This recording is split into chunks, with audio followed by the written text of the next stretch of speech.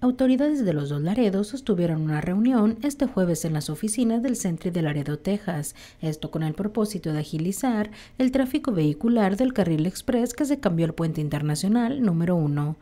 En la reunión se propuso utilizar el puente internacional número 1 en su totalidad para el servicio del Sentry en horas específicas de 6 a 10 de la mañana de lunes a viernes y de 6 de la mañana a 1 de la tarde los días sábados. La propuesta será evaluada por autoridades norteamericanas, quienes decidirán si se pueden hacer estos cambios para agilizar el tráfico vehicular del carril Sentry. A dos meses de poner en marcha el carril Sentry en el puente internacional número 1, a solicitud de las autoridades de Laredo, Texas, existen opiniones encontradas entre los usuarios por este cambio. La modificación del cruce vehicular para acceder al carril Sentry se realizó por las obras de modernización de la garita del puente internacional número 2 del lado americano, trabajos que obstruyen los carriles para los usuarios de este servicio. Ante esta petición, autoridades del gobierno municipal externaron en su momento su preocupación al reconocer las posibles complicaciones que surgirían al transferir 4.000 unidades que registra el aforo del Sentry a un solo carril con una sola caseta,